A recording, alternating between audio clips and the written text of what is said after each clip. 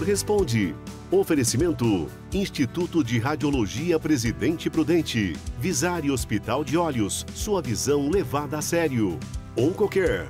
Há seis anos, a nossa maior especialidade é a sua vida.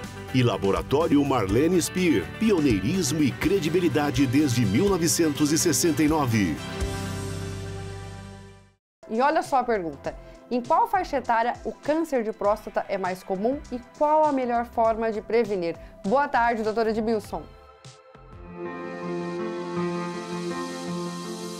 Boa tarde, Maíta. Obrigado pelo convite. Ah, com relação à sua pergunta, qual a idade mais frequente do câncer de próstata e como a gente pode fazer para prevenir, eu respondo o seguinte. O câncer de próstata ele pode ocorrer em qualquer idade no homem acima de 40 anos. Eu já tive pacientes com câncer de próstata com 45, 47.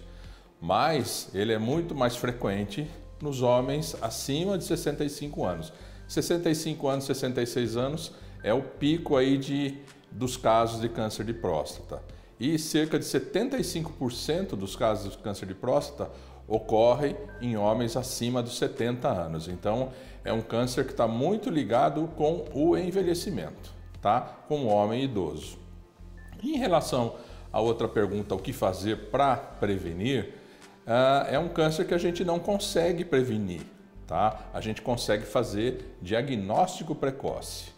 Alguns trabalhos atuais mostram que se você tiver uma vida que o cardiologista pede para você ter, ou seja, uma vida com pouco sedentarismo, uma vida prevenindo a obesidade, uma vida controlando hipertensão, controlando os triglicéridos e os colesteróis da vida.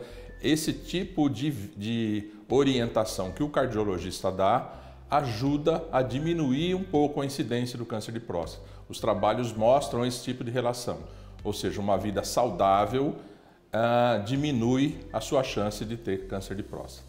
Tá bom? Obrigado mais uma vez pelo convite e até a próxima. Obrigada pela participação, doutora Edmilson.